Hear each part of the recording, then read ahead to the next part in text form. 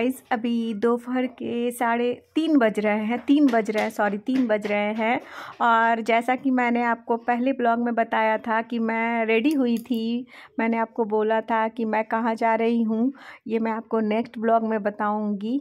तो ये वही जगह है, आप लोग देख के समझ ही गए होंगे। तो तो मैं आई हूँ अपना आई चेकअप करवाने के लिए।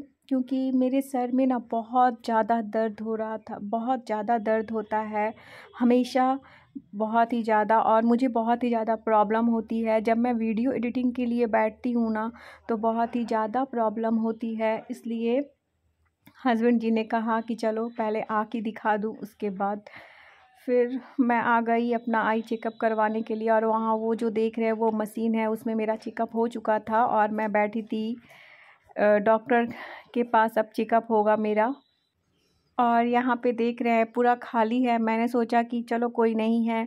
हम लोग फ़र्स्ट में ही चले जाएँगे दिखाने के लिए बट ऐसा नहीं था। जब हम लोग डॉक्टर के पास ऊपर में हम लोगों को बोला गया, वहाँ पे डॉक्टर चेकअप करेंगे तो वहाँ गए तो इतनी ज़्यादा भीड़ थी। भीड़ देख के ही हम लोगों का दिमाग ख़राब हो गया था। बैठे बैठे मैं इतना ज़्यादा बोर हो गई कि कुछ रिकॉर्ड करने का दिल ही नहीं किया, क्योंकि हम लोग को घर आते आते बहुत रात हो गई। Hey guys good morning welcome back to my channel Neetu Manoj blog कैसे हैं आप सब? आई होप कि आप सब बहुत अच्छे होंगे। मैं भी बहुत अच्छी हूँ। और आज बहुत दिनों के बाद मुझे कि आप लोग तो जानते ही हैं मॉर्निंग में तो क्या, जब किचन में आई हूँ तो सबसे पहला काम तो नाश्ता बनाना ही होगा। तो आज मैं नाश्ते में क्या बनाने वाली हूँ हाँ। मैं आप लोगों को साथ शेयर करूँगी। क्या हुआ? और पीहू भी आ गई है। हाँ तो कल जाओगी? क्यों? मैं सिक्स सिक्स रोल कर दिया। ए बाबा इतना क्यों? और उसका दो सौ तेरह दो सौ तेरह आया है तो उसको नौ कर दिया। तो अब तेरह मिनट ले लिया। तो मैम को बोले तो मैम बोली कर तो रिज़ल्ट कल लेके जाना होगा तब आ पाँच मिनट इंतज़ार नहीं वीडियो कट करनी पड़ी क्योंकि मेरी पीहू रानी आज फ़र्स्ट दिन स्कूल गई थी। मतलब इसका रिज़ल्ट मिलने के बाद आज फ़र्स्ट दिन स्कूल गई थी तो इसका रोल नंबर बहुत ही ज़्यादा हो गया है। तो इसलिए अब कल वो जाएगी अपना रिज़ल्ट लेके। ना पीहू हाँ। कल कितना होना चाहिए?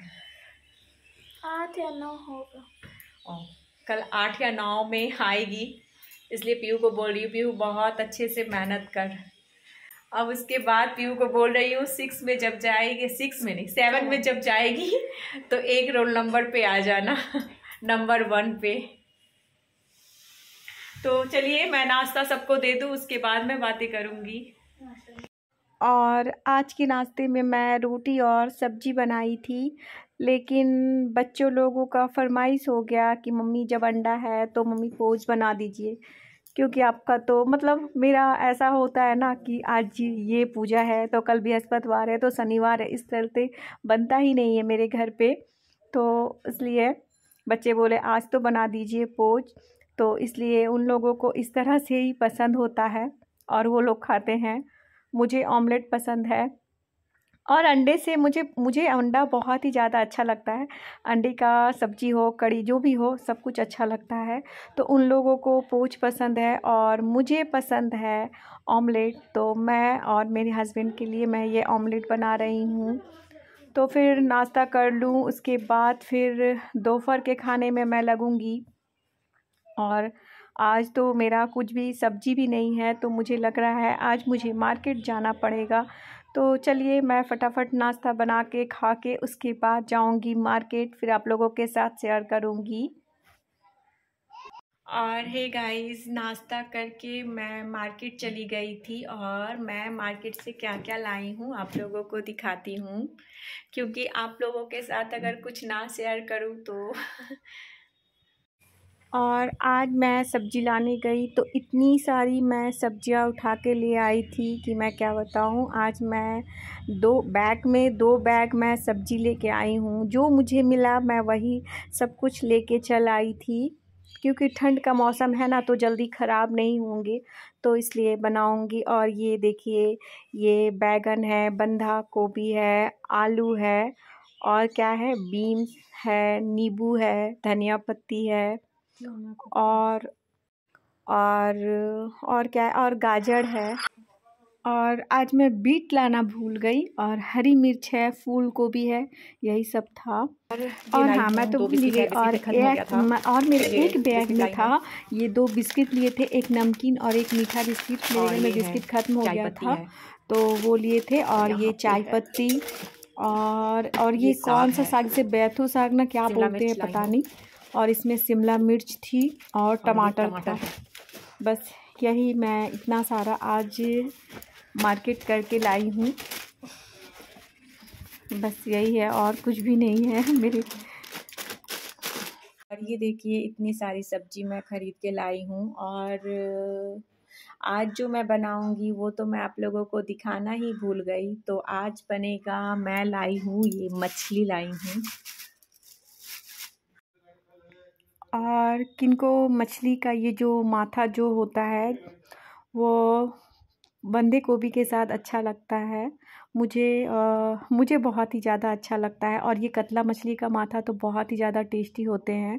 तो मैं थोड़ा सा देखूँ क्या अभी कुछ समझ नहीं आ रहा कि क्या बनाऊँ ना बनाऊँ।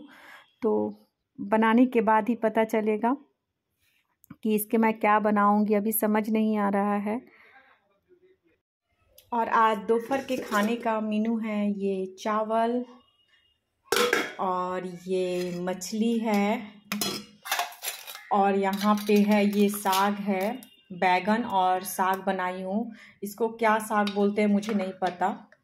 और यहाँ पे है ये मछली का जो माथा होता है, उसे बंधा गोभी के साथ में डाल के बनाई हूँ।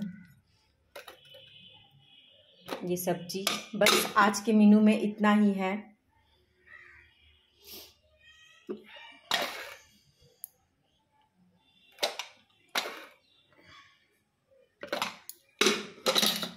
तो खाना को देखकर तो सभी को भूख भी लग गई है तो मैं सभी का खाना निकाल दूँ। आज मैं ठीक टाइम पे एकदम मेरा आज खाना बन के रेडी हुआ है। आज मार्केट से आई। के बाद आज बहुत ही एकदम टाइम पे मेरा खाना बन गया है। तो चलिए मैं खाना सबको निकाल के दे दूँ। और अभी शाम का वक्त हो रहा है। मैं चली गई गोल्ड की ख़रीदारी करने के लिए। तो किसी के लिए सरप्राइज़ गिफ्ट है। तो मुझे समझ नहीं आ रहा कि मैं क्या लूँ, ना लूँ। तो चलिए, ये आपको नेक्स्ट ब्लॉग में पता चलेगा कि मैंने क्या ख़रीदारी की है, किसके लिए की है। ये आपको मैं नेक्स्ट ब्लॉग में बताऊँगी। तो बस आज के लिए इतना ही। वीडियो को ज़्यादा बड़ा नहीं करूँगी।